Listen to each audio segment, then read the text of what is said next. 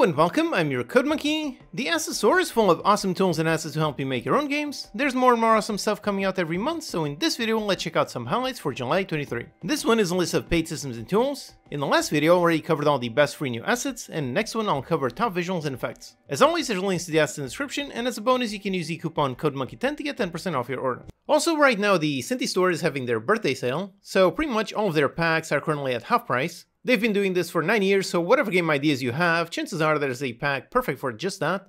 For example, the Military Pack is great for any kind of shooting game. The Fantasy Kingdom Pack is a great general medieval style asset pack. Then you can make a survival game with the Apocalypse Pack, perhaps a racing game with the Street Racer, maybe a tycoon game with the Shops Pack, and tons more. And the Sci-Fi Worlds Pack, this one is the pack that I'm using in my upcoming Steam game Dinky Guardians. Go ahead and add it to your wishlist. So as you can see, lots of great stuff at all price points. Check out the entire sale, link in the description. Alright, so starting off with a massive update to an already existing excellent tool, it's Text Animator version 2. This is one that I've had on my list to do a full review for quite some time. I've used it a tiny bit and what I saw was awesome. Basically it's a tool to really help you make your text stand out. You can add all kinds of effects and animations. You can make it wave, shake, rotate, you can make it change colors, fade, bounce, and tons more. Pretty much every single game has text and a tool like this one can really help you polish that text. This one is a very robust tool that has already been used in production in several excellent successful games, things like Slime Rancher, Peglin, and of Lamb. Version 2.0 is a massive update, which is almost a complete rewrite, whilst adding tons of new features, things like editor preview, new effects, and a bunch more. I believe this massive update is free, at least for me it already showed up on my account, so if you already have it, go see what is new, and if you don't, then definitely look into it, it's an excellent tool that can really help your games shine. Up next, here's a massive shooter game kit. If you want to quickly make a shooter, then this one would be an excellent starting point. The name says primarily third person, but it also supports first person. It features some realistic locomotion with dynamic rotation and ragdolls. It's got IK foot placement that it works on any terrain. It includes multiple pre-made game styles, things like regular third person, top down, 2.5D side scroller, and first person. The weapon system is also very robust with physical bullets, dual wielding, ricochet, and melee weapon support. It includes an inventory, cross-platform controls, gravity system, vehicle controls, AI, and a bunch more. It's super easy to get started, just drag and drop the character and that's it. Also features extensive documentation, which is super important for a complex asset like this one. All in all, it looks like an extremely complete package, so if there's some shooter game idea that you'd like to quickly prototype, then this can be quite useful. Up next, here is one that is simultaneously just a visual but also a tool. It's a lava and volcano environment. This one is visually gorgeous, super high quality assets with some super complex shaders. Looking at this makes me want to make a game inspired by something like Mount Doom, or perhaps recreate that iconic Star Wars scene.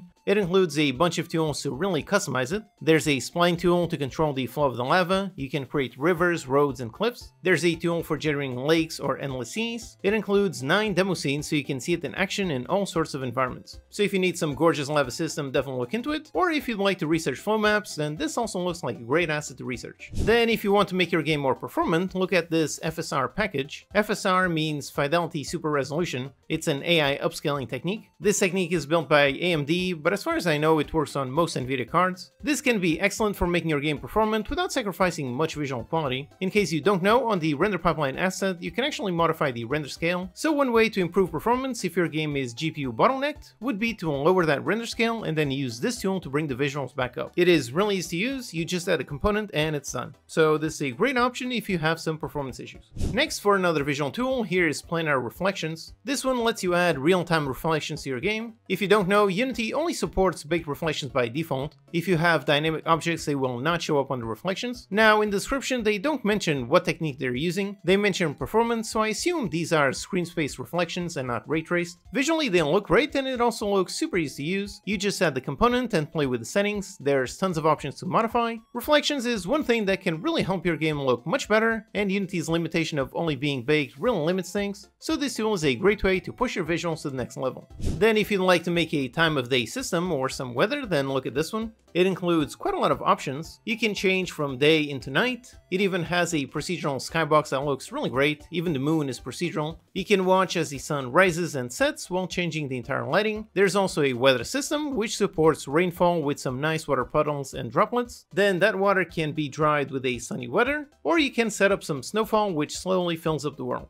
It includes two shaders for the weather, there's a regular shader and a stylized one. Adding a day-night cycle like this one is one of those things that can really help you polish your game. Next, here's a simple tool that does exactly what it says, Google Sheets to JSON to C Sharp. Basically, you can define all of your data in a Google Sheet, then with a button click, easily import it into your game and have access to all that data from a simple C Sharp class. So like I said, it does exactly one task and does it very well. This can be extremely useful if you're working with a designer or if you yourself like to design all kinds of numbers on a Google Sheet. That workflow can sometimes be great when you need to balance tons and tons of values. With this, you can do all of that balancing work in a simple spreadsheet and then easily import all of it into your game. Then since a while ago we saw some lava, now here is some water. It's a water system for URP. Unity has actually been working on an impressive water system, but so far it's HDRP only, so this one looks like a great alternative if you're working in URP. Visually it looks really great, nice waves, nice foam, it's got subsurface scattering and refraction, includes cutout volume so the hull of your ship stays dry. You can also place water within water if for some reason you need to do that. You can add some nice customizable ripple trails, also includes some highly performance buoyancy physics and some nice underwater caustics, so this really looks like an extremely complete, feature-rich water system. Definitely give it a look if you need some water.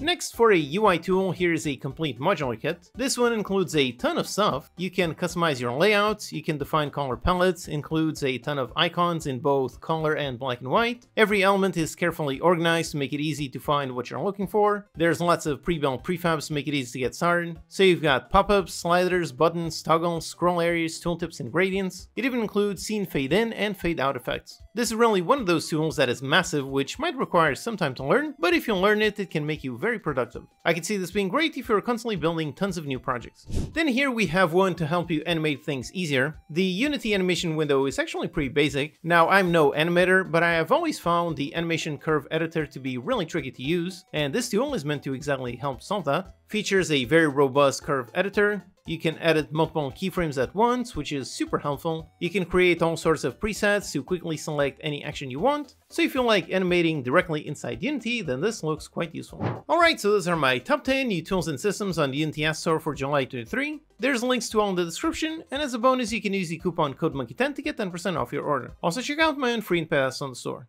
Alright, hope that's useful. Check out these videos to learn some more. Thanks to these awesome Patreon supporters for making these videos possible. Thank you for watching and I'll see you next time.